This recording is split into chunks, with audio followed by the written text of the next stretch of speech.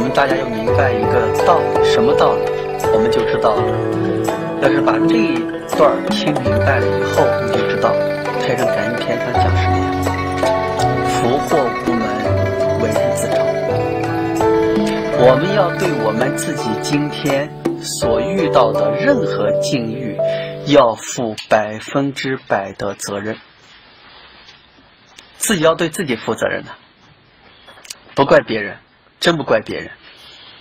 我们再看一看我们经常看到的新闻，什么新闻呢？当一个人的自己的能量场比较强，虽说受到了负能量场的影响，我们也会发现，发现什么呀？这个人要去自杀，一定会被人救下来。啊，我们遇到过同样是自杀的，遇到境遇不同，这人自杀呢会被人救，有些人要自杀呢，给那要跳，别人在底下还要喊什么呀？你跳呀，有本事你跳呀，跳呀！本来不想跳，碍于别人这种负能量场的灌输，他就真跳了。真的是这样，甚至你没发现有些人运货物的时间，货物车翻了。有些地方，这个人的正能量场非常强，即使遇到了车上的货物给洒落了满地，众人会帮助他捡起来放在一起。有些人，有些人呢，我们注没注意？他自身的负能量场比较强，一旦出现翻车把货物倒在路上以后，会被人一抢而光。我们看到很多这类的新闻。大家都会谴责：“哎呀，你看，现在这人怎么成这样了？人家都遇祸了，还把东西抢走。我们只看到了表象，实际是这货主自身产生的负能量，导致了负能量的人来加害他，是他感召来的，也可以这么说，是他把他们叫来的，不是用嘴，用他自身的负能量场叫来的。”那我们用这种方法，我们就好理解了。好理解什么呀？你今天为什么遇到不好的老板？为什么遇到不听话的员工？为什么遇到了出轨的老公和出轨的老婆？为什么遇到的你的亲戚、你的所有的六亲都来欺负你、被骗？什么原因？你自食其果，不怨八字。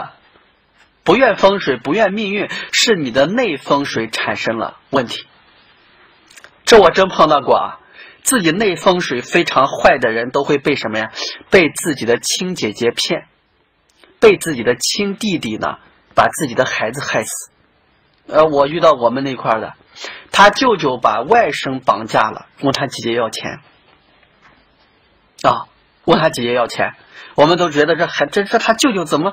这样啊，把外甥都骗了，他姐姐怎么能这样把弟弟都骗了？不怪对方，自己的场能变坏了。那个时间就是人想帮你啊，我告诉你，都把你推沟里去了。啊，人家说这个事儿挣钱，你去吧，你一去就赔钱。这就叫我们讲的贵人相帮无力的原因，也不在贵人，而在于你自己。啊，这是我们自己产生的问题。那我们接着，我们就会想到什么呀？我们想到我们这个肉体，我们这个肉体实际只是一部机器，会根据我们的天性、秉性或者习性。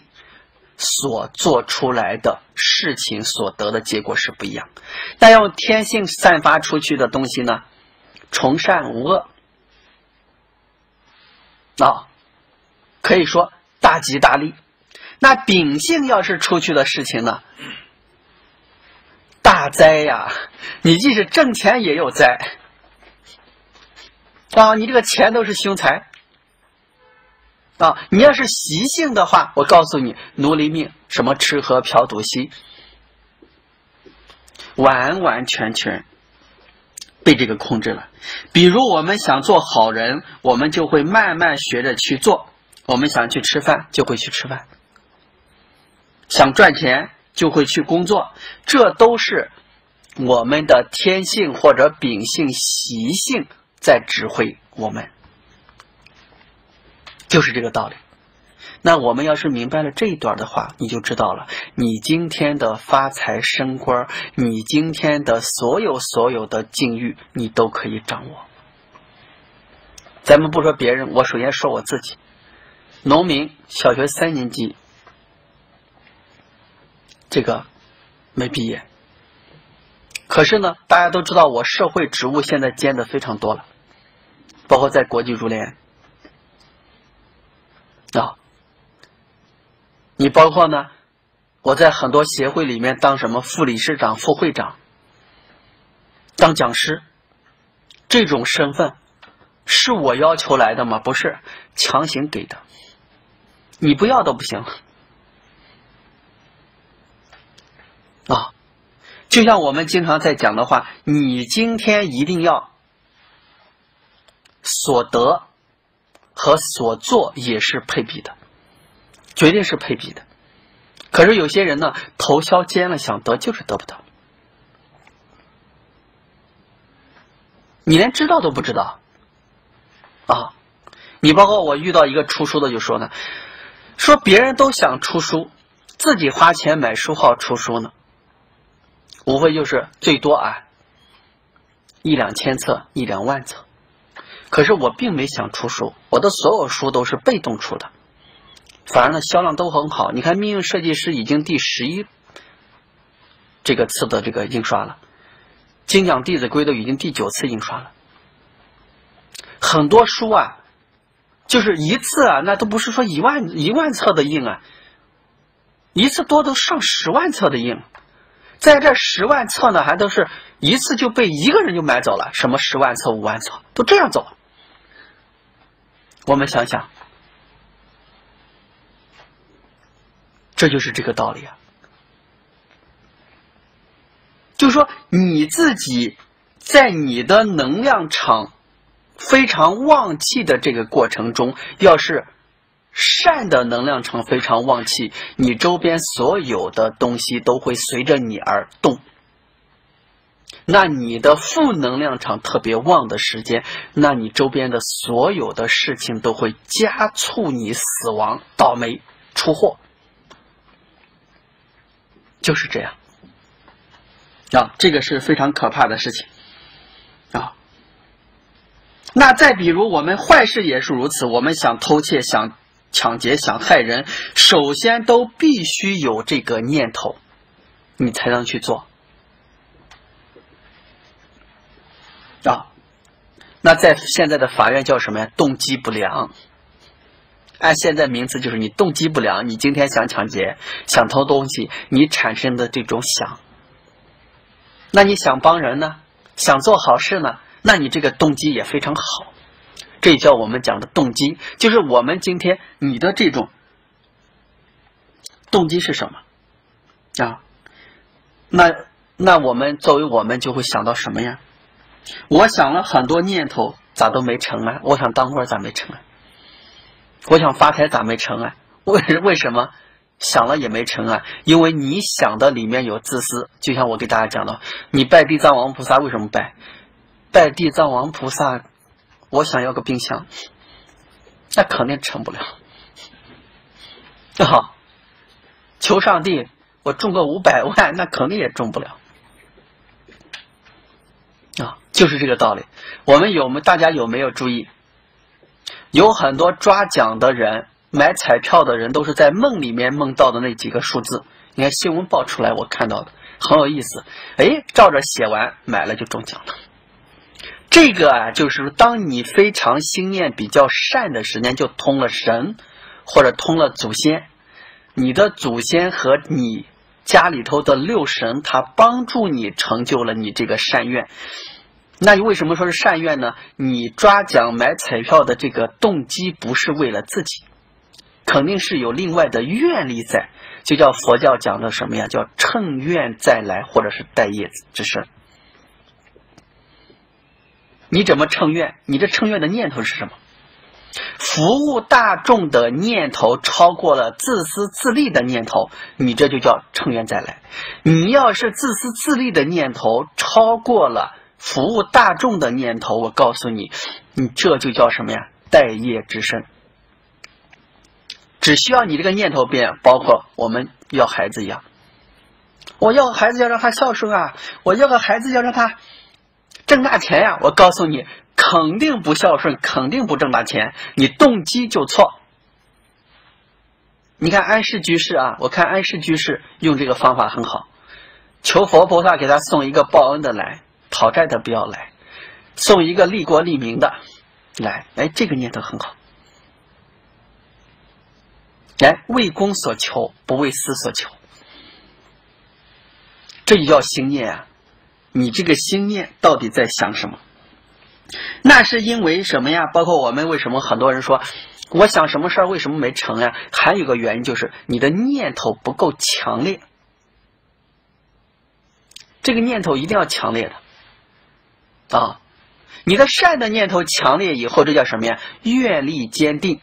你的恶的念头头要是强烈的话，也叫愿力坚定。这一定是念头的这个强，念头的强度不足。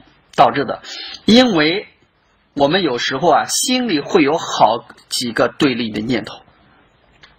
如果一个念头没有超过对立念头的束缚，就不足以产生影响。打比方，我给大家讲的，你天性来了个乞丐，你天性想什么呀？我要给乞丐给一块钱。你这个天性的念头产生了，那秉性就讲了。这乞丐是不是骗人的呀？当你天性的念头想给乞丐捐钱的这种念头，要是超过了秉性的这个念头，那你这个行为就会听到天性的指挥，掏狗摊掏一块钱就给他了。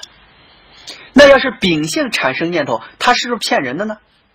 这个念头要超过了天性以后啊，那你这个行为就会符合秉性或者符合天性，都在于念头的强与弱。那秉性一说，这人是不是骗人的呀？这行为就不动了。我挣钱也辛苦的跟啥一样，我不给了。那天性这个实验就不当家了，秉性就当家了。我们随时随地，我要看到你这个念头是是天性的念头还是秉性的念头，是天性的念头强还是秉性的念头强，哪个强就会促使你。成就善或者成就恶，也就是我们讲的恶的念头强，或者是善的念头强啊，就是这个这个道理导致的。那比如你想赚钱，但是你懒惰的习惯强过了赚钱的念头，所以你懒得工作，所以心懒，你就成了懒汉了。哎，这个就是我们心念的原理，就是你的秉性或者你的习性，包括。大家来听我讲课也是一样，你能不能坚持？能不能听完？你是不是能放得下？那，你听完以后是不是能落实？这个都在于你自己。要不我说，成功人士和失败人士的区别在于，成功人士能坚持、坚持再坚持，就是这个道理。他能坚持，这是他的特点。那。此外呢，我们对同一件事情生发出的认同不同、念头不同，也会导致自己的运气不同。就是你的思想，就是我讲的话一样，你的思想和你的秉性习性，你的所有所有的这种念头是不能配合一起。打比方，你想当运动员了，可是你是残疾，你没腿啊，你怎么当运动员？你跑不了。就是你想了，要不我经常在讲，你想干什么和能干什么是不一样的。我今天想挣一百万，你要具备一百万的能力。所以，当你产生这种心念的时间，一定不要超出自己的能力范围，超出这叫妄想，一定是不要超出的。啊，你看，很多人之所以出大的问题，就是超出了，违法乱纪了，违背伦理道德了，不择手段了。最后导致自己出问题了。这是超出了。啊，你能做什么和能想做什么，你一定要是我们讲的什么呀？一心一意，一心一意去做，这样就是比较好的。你是随着他转的，还是他随着你转的？你看孔老夫子、孟老夫子，是不是？他转人呢？可是我们现在很多人呢，被人转，这个就可怕了。不光被人转，被事转，被境转。都被转了啊，自己也越来就会好或者不好，都是我们这个念头的强与弱，自己转的这种力度大与小，都在这个地方。所以，我们要是生出的讨厌社会、憎恨社会的念头，结果会导致我们不好好工作，每天受委屈难受，让父母朋友总为我们担心。这也是我们自己感召的。那总结一句话呢，就是什么呀？人生的一切福祸关口，都在于内风水动力源。我们所讲的天性的释法，还是秉性的释法，还是习性的释法？就是一切一切的福与祸，都在动力源，就是我们的能量场。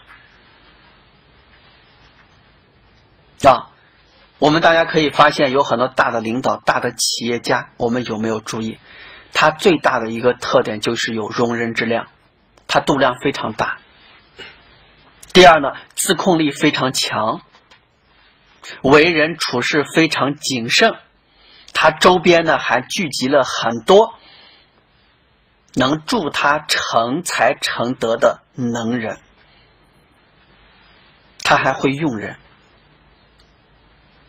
就是这个道理，所以他能享人的福啊！哎，我们要懂得，要明白，所以内风水啊，它的这个特点就是改变我们的心，让我们的自身的风水成为上乘能量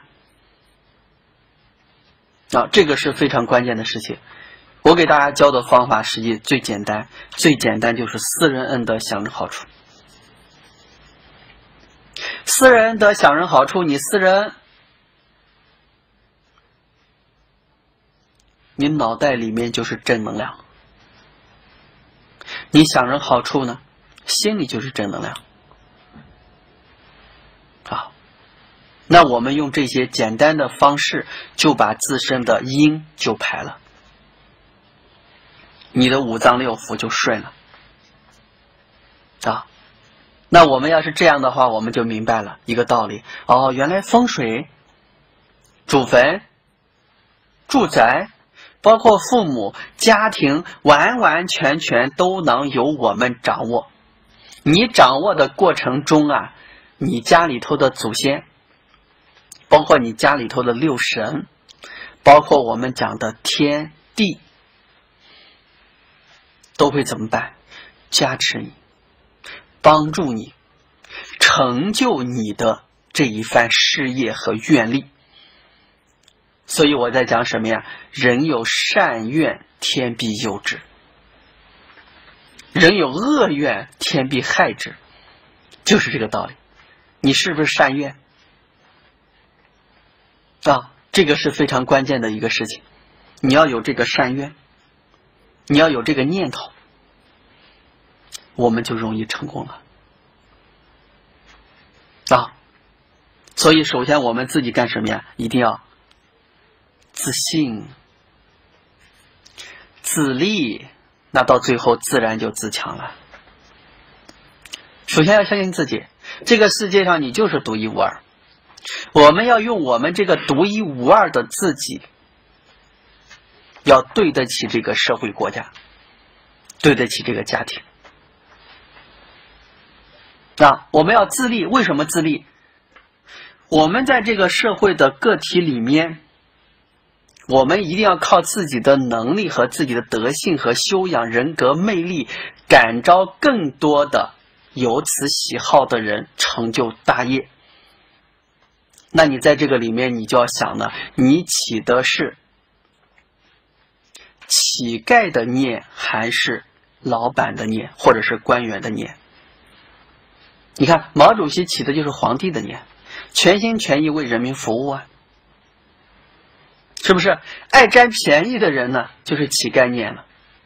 要不我说，手心朝下的人得福无量，手心朝上的人呢，得罪无量啊！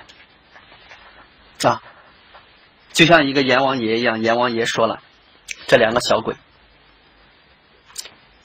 你们都有机会投胎。可是可以选择你投胎的家庭和环境，阎王就就说了，一个投胎的呢，可以选择从别人跟前得到好处；一个人投胎呢，要把自己的所有好处全部给人。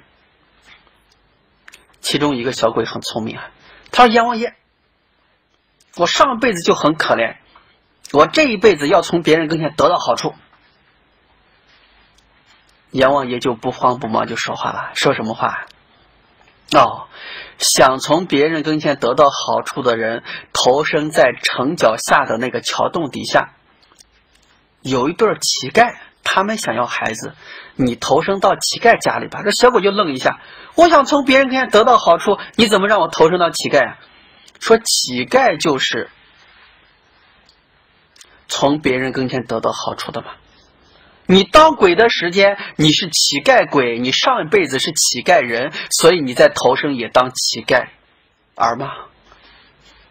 就是你已经动这个心念，就中了一个这样乞丐的这种场能了。说这个呢，愿意把自己好处给别人的人，投生到哎呀，这个城中有个最大的员外首富家里去。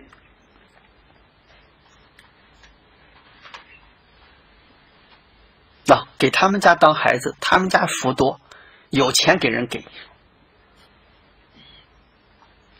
所以我们想一想，你今天这种场能是正的还是负的？正的一定是利国利民、自然利己；正的一定是常为他人着想；正的是一定是看对方的好处，找自己的不足；正的一定不会生气，不会怨人，不会嫉妒人，不会害人。那邪的呢？这个从轻我们是完全可以掌握的。